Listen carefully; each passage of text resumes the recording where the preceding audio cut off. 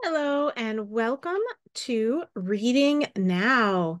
This is our advanced phonics lessons where we read a word that has a little bit more uh, complex phonics skill to learn.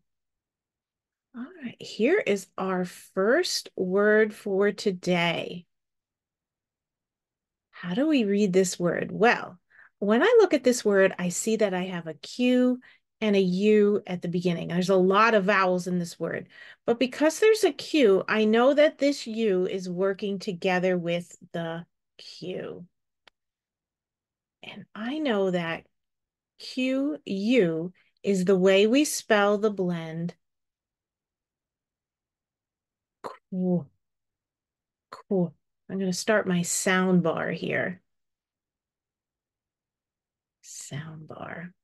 That lets me know that this is how it sounds, not how it's spelled. So, qu, qu, qu, k, w, qu, qu. All right. After the U, I still see some more vowels. I see an I and an E. So some things to know about I. I, as a vowel, can pair and make vowel teams with other vowels, but it doesn't always. I can pair with E when I is the first vowel, and I can also pair with GH, even though they're not vowels. Together, IGH makes a vowel team. All right. And they can both say I, or IE can also make the E sound. So I do see that we have an IE vowel team here. So it could be E or I. But I doesn't always pair with the vowel after it. If that's the case, then the I might be long, I, and the E could make its own sound.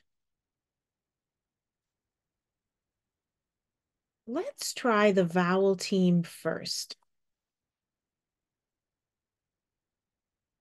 If it's this vowel team, it's probably going to make the E sound. E. And then, of course, we have our T. So let's try that. Queet. Queet. Does that sound like a word you know?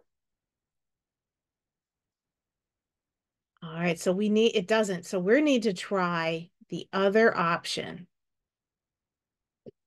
We're going to try I making a separate sound from E. All right, and if that's the case, that means it's two syllables. And then this is our first syllable, and this is our second syllable.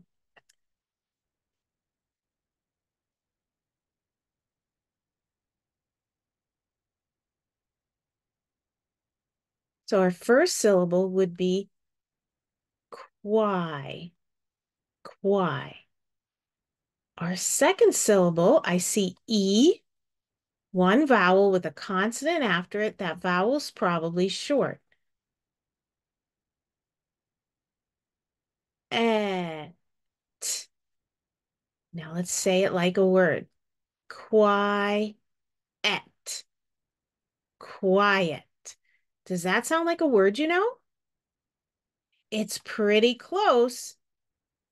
Why did I put a question there? Because we don't usually say quiet. Et. How do we usually say that word? Quiet. It. Well, where does the it come from? Okay, so we need to talk about schwa. Here is the symbol for schwa. It's an upside down E. It's so lazy. It doesn't even have its own symbol. Lazy. All right, so what is it really? It's the sound we make when we need to make the vowel sound very quickly and without a lot of fuss. Sometimes we call it muffled. Muffled. We don't really say the sound completely. and we say the easiest sound. So down here in the corner, I'm writing one of my favorite schwa sound words, and this is about, about. The A at the beginning is making the schwa sound, uh, about. But if you notice, if you put your hands on your face when you say the word about, about, when you make the uh sound at the beginning, your face isn't really moving that much. We're not moving our face around to make that long A sound or the short ah sound. We're just being lazy and we're saying uh, uh, uh, about. All right, so it's the lazy sound. A sound when it's lazy is usually uh. E sound when it's lazy is usually very similar to I, the short I sound. But it's not quite the short I sound. That's why we use the symbol of the upside down E for the schwa. It. But E's usually sound usual sound for the schwa sounds like a short I it. It, quiet, quiet. And that's where we get those sounds from. So our word today is quiet.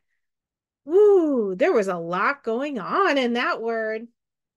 Let me know if you have any questions about this word, schwa sounds, or any other sounds in this word or any other word. Be sure to let me know in the comments below. Subscribe, like, follow my videos so that you can see more phonics videos.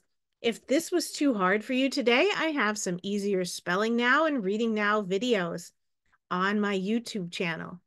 If you need more help, uh, I teach live classes on OutSchool. Check the description for a link to my classes on OutSchool. I also do one-on-one -on -one and small group tutoring off of OutSchool. Um, and here is right there is my email reading art now at reagan.com. So parents, make sure you stop the guessing. You don't have to guess why this is quiet. We do know all the rules and let me help you learn them. And I will see you tomorrow.